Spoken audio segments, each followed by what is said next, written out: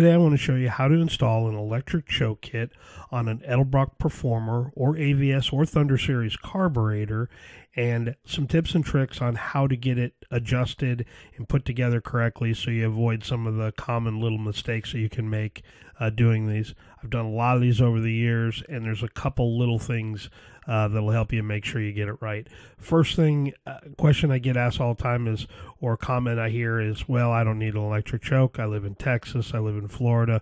I live here in the Mid South. It's always hot here. I don't need one. I would disagree with that. And even on a 50 degree morning, 60 degree morning, 70 degree morning, the car the car needs to warm up just a little bit and a little bit richer mixture will help do that so a little bit of choke um, even if it's just for a minute or two as it's sitting there idling, warming up, it's always a good thing. A little bit extra fuel in the engine is good. It provides a little bit extra lubrication on the valve train uh, down into the engine. Not a problem at all to run a little bit richer. An electric choke takes all the guesswork out of it. You hook it up, you set it, you forget about it, you hit it, you get the key, and, and you go. Um, so yeah, it's it's not necessary, but I always run electric choke on my street cars because really there's no performance benefit by removing the, the choke plate off the top. Uh, you're not going to increase the airflow by anything dramatic. And even if you did on the top side, you're going to restrict it through the Venturi uh, and the, the throttle bores. It's just not going to flow any more air through it or pull more air through it through the engine.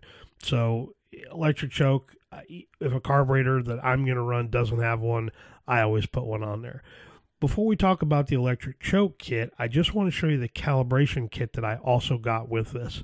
Um, if you've never seen one of these calibration kits, they're very, very simple. But what it does, if you remember the tuning chart back in the Ultimate Tuning Guide that I did several months ago, uh, it shows all the rods and jet changes you can make. The tuning kit has all of those rods and jets in that center shaded section. If you go back and watch that video again, you'll see how to use the tuning chart and that shaded section there. All the rods and jets are included in that kit, plus the step up springs that you need depending on the vacuum of the engines, etc. So you can go back and take a look at that. I always buy a, I needed another kit uh, for this 800 CFM carburetor that I'm doing for the big block Chevelle. Uh, so I went ahead and bought one. Little tip here is if you buy one from a friend, uh, buy one from an auto parts store, whatever, and this seal is broken on it, get another one. It's been opened up. You, who knows if it's been opened up? Somebody took the rod or the jet or the springs out of there that they wanted and threw back in whatever, and you're not going to get the right kit get one that's sealed up. So if you order it online, auto parts store, whatever, if it's sealed up, you're good to go, no problem. One cool thing here is if it is sealed up, you open it up and you find there's the wrong rod or jet in there. I've done this a number of times over the years. All you got to do is call Edelbrock, tell them what you're missing. They'll throw it in the mail to you, no charge. I've had have told tons of people to do that uh, when they need gaskets or missing things out of a carburetor kit. It happens. It's not the, you know, the most difficult kit to put together on the calibration kit, but sometimes on the rebuild kits you can miss a gasket or put too much of one in there or whatever. So anyway, they're very, very, very helpful when it comes to that. So anyway, I just want to show you the calibration kit when we get down the road here, a couple of months when we get the engine and transmission, everything back in the car. Uh, we'll show you how to use the calibration kit and how to actually tune on an engine this carburetor. But we'll get back to the installing the electric choke kit. So this is the electric choke kit from Edelbrock. Um, not overly complicated, very very simple. But I'm going to show you how to, you know, what's in the packaging here, what you get, and then we're just kind of kind of lay it all out, make it a little bit easier to uh, uh, put this thing together, assemble, and uh, move on down the road. Um, bottom section here, you know, you got all the basics. Um, you got a little hardware package that's got all the hardware that you're going to need. Um, typically, it has everything. I've had one or two occasionally where they don't, they're missing a piece. Uh, the wire, ground wire, and the hot wire uh, for the two sides that uh, needs to be wired up. Um, both those are included here in the bottom side as well. Um, also, with this kit uh, is a full set of instructions. Now they're they're very simple. They're very basic. They're not like again nothing here is complicated, but you have to kind of keep flipping around on this one. I've noticed. I've just relooked at these again. I haven't seen these instructions in quite a long time, but you know they're not the clearest. They do leave out a few little details, so it's best to uh, you know just kind of follow along with this video, and I'll get you all the right steps to get this thing put together and the rest of the kit pieces here. You get the main body that attaches to the carburetor. You get the new sub-assembly shaft that goes through the carburetor, and you get the uh, electric uh, choke cap, housing cap that has the spring in it, plus the little gasket and a little, uh, you know, baffle plate that goes in there to kind of protect it all. Now the black choke cap has some has the wiring connections that go on there, the positive and negative, but it also has a nice little uh, directional arrow on there to tell you how to lean it out, lean the choke out, or richen it up a little bit. You know, you turn one way, it goes lean, turn way another, it, it goes rich. I'll show you that here once we get it all put together. But that spring that's in there attaches to the little uh, arm or rod that comes out of the main body, uh, and that spring rides on there. And as the uh, uh choke warms up, uh, engine warms up, uh, changes the temperature within it, um, that spring pressure changes, and uh, you uh, loosen up, um, you know, loosen up the choke, and you go from closed choke wherever you set that to to wide open choke. So anyway, very very simple, very easy to adjust. If you ever forget, uh, those things are right there on the body of the choke. Now, before I start to disassemble this, when I did the live stream on the rebuild of this, putting it back together, I think I said that I left off the little choke arm that goes on here. It just holds on the choke cable. If you're in a manual choke, it would go right here. It's gone. It's not on there anymore. So just wanted to point that out. Now let's get into disassembling it. The first thing you got to do is disconnect the choke plate from the shaft that goes through the center of the carburetor. Now this one's a 3 16ths, I think, um, maybe a quarter inch uh, size. I have little wrenches here, but I've got nut drivers as well too. Not complicated. It's very very easy. They're they shouldn't be in there very tight, uh, but you will need a little tool to uh, to get these out of there. And once you get that screw out of there, just remove it and the little connecting rod that attaches to the choke flap. Set that aside. You're going to need that in just a minute. And once that comes out, the subshaft uh, assembly needs to come out of there. Now there's a little tiny quarter inch screw that's on the side here. It's a one time use only deal. Um, they tell you because that once it goes in uh, and you back it back out, um, the threads are a little uh, uh, boogered up at that point, and uh, I have seen them back off, but uh, a little bit of Loctite cures that. But uh, once you get that um, little plate and the screw out of there, then you just need to dis- disconnect the little connecting rod that's on the other side of the carburetor for the fast idle side of things. And once that comes out of there, then you can slide the sub or that shaft assembly completely out of the carburetor. Now, if you ever get these two mixed up, there's a pretty easy way to tell which one's which. The one for the electric choke has a smaller uh, face on the end, and all it does it just is there to catch the little uh, new plate that goes on there that attaches to the electric choke. So you'll see how that goes together. But uh, uh the one on the uh, left is the uh, old one, and the one on the right is the new electric choke one and that's it. You're ready to go back together. Now, in the hardware bag here, there is a little lever. Uh, it's a they labeled in there. It's part number 14-555. Uh, it goes on the uh, end of the rod here, and this is the end uh, that it connects to the fast idle side of the carburetor. In the hardware bag, there's a new linkage rod, screw, and a little washer. Now, the washer is kind of a hit or miss. You can use it in there, you know, if that um, if you've got the room for it. I'm going to try it on this one, but I'll tell you almost 95% of the time I leave it out of there. But it's in the bag. I want to show it to you. If it doesn't work out, we'll know pretty quickly because it'll bind up the linkage. Um, but we're going to run into a little problem here in just a quick minute, and I'll show you that. Here's a great example of something that can go wrong. Now, these, like I said, are a little self tapping screw that goes into the end of this thing. And once you start to tighten that down, if it's a little got a little bit of a drag on it, a little more difficult, then yeah, it's probably okay. In this instance, it was a little tighter than normal, and I just went ahead and continued to screw it, screw it down. The problem with that is, is it's a very, very small little screw, um, and not a lot of torque will destroy it. And that's what I did. I popped the head right off of it, um, and off it came. So you have to be a little careful with these things. If it's feels like it's a little too tight, you know, it's okay. If it's just a little snug, no problem. If it's in this case where it was way too tight, just go ahead and back it out and start over, and you'll save yourself uh, the problem here. Fortunately, I had another uh, rod, uh, or excuse me, shaft, and another carburetor. I just stole out of that AVS carburetor in the back, and we'll just keep moving on. Next, we're going to attach the choke housing to the body of the carburetor. Now, there's a couple of things here. There's a little seal that goes in here uh, on the side of the body. Um, that's to seal it up against the body of the carburetor because there's a vacuum port that we're going to tap into. Uh, and before we do that, on the body of the carburetor, if it didn't have an electric choke on there before, there's a little brass plug that you need to kind of work work out of there. Um, so just get a pair of pliers and kind of wiggle them back and forth, put a little bit of pressure on it, and it'll pop right out. Once that little brass plug comes out of the side there, you can see the little vacuum port here on the side of the carburetor. If there's any garbage in there, just make sure you blow it out of there before you attach the choke body to it. Now, back in the little hardware bag, there's a little rubber seal that goes to the choke body to seal it up against that vacuum port that's on the body of the carburetor. So, hook up the little connecting rod here. Make sure the piston and the rod move uh, nice and easy. That's all you're doing just making sure that it doesn't bind at all.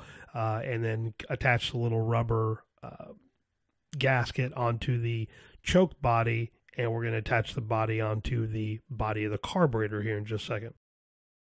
Now, back into the little hardware bag, there's two sets of three screws. What we're looking for to attach the body of the choke to the body of the carburetor is the three self tapping screws, and they're a little bit longer, and you can kind of see the little self tapper on the end. That's what we need. If you have a carburetor that's never been attached, or a choke that's never been attached to a carburetor, the little self tappers will uh, dig its way into the alumina of the body and uh, allow it to attach itself. If it's had electric choke on there before, doesn't matter, you can still use them. So, what we're trying to do here is just make sure that the seal is on there, the gasket's on there, and that the connecting rod is in the right position to connect up to the uh, choke lever on the carburetor.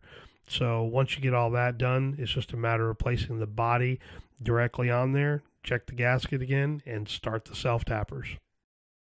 Now, once I get these just a little bit in there, so the body just wiggles around in there, just take another quick peek at the gasket for one to make sure it didn't slip out of there. If it's good, then you're okay. And then also check the connecting rod coming out of there that you didn't bind it up against the body of the carburetor. Done that enough times in the past.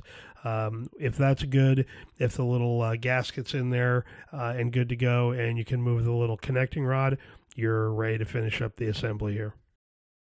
Once you got the choke body all snug down, next thing you do is put on this little uh, uh, baffle plate and uh, gasket and the choke cap. Now, there's a little indentation in this baffle plate uh, that only goes one way. It fits down into the little hole that the uh, one of the little self tappers went into, and the slot uh, goes up there on top with a piston. So you'll figure out how that that kind of goes in there, but it just kind of falls right in there. Now, once you get the body of the choke on there, what you're trying to do is to get the little leverage rod um, a, kind of twisted around to where it comes in contact with the spring. And you'll know this because when you turn the cap on the choke body, you'll move the little connecting rod that closes the choke uh, flap closed. So what I do is just once you get it set in there and, and you can kind of go back and forth with it as you're turning the choke cap, just as that little uh, connecting rod starts to move, that's where I'll snug it down at. You can make the final adjustment uh, when you're done, but that way you'll get um, get it all uh, you know uh, connected. Uh, you'll have it in there, um, you know, right, and you won't have to you know twist the thing around quite a bit and kind of wonder if you got it off. But uh, that's the easiest way to do it. It's a, just a little trick on how I do it to make sure you know that gets put together right. So once you twist it around there, the connecting rod starts to move a little bit. Snug it down, and then we'll do the final adjustment here in just a second.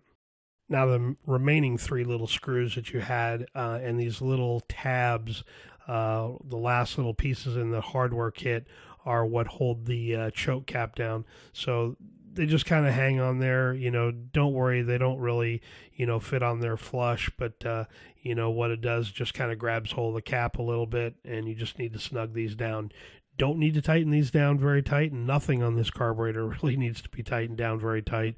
So you're just snugging it down. It will hold that cap in, in place. Uh, and, uh, you know, like I said, you, just, you don't need to torque it down. It'll be just fine, just snug. And the last thing we need to do is take this little connecting rod, hook it up from the uh, shaft assembly that goes through, and hook it back up to the choke plate on top. So little 3 16ths nut driver, snug it on down, and you're good to go. Now we've got one more um, rod to connect here on the uh, side of the carburetor where the fast idle side is. So again, one last connecting rod, hook it up, little slot, and then uh, um, hook it back up to the top side uh, and put the little uh, retaining clip in, and you're done. Uh, once that's all hooked up, then just need to just check the operation, make sure everything moves smoothly, that the fast idle, you know, uh, works okay, moves okay. Uh, that little connecting rod uh, is in there correctly, uh, and then just check the function of the choke plate, the the shaft going through there. Just make sure nothing binds, nothing grabs. Once you're done with that, now we can do the final adjustment on the choke assembly before it goes onto the vehicle.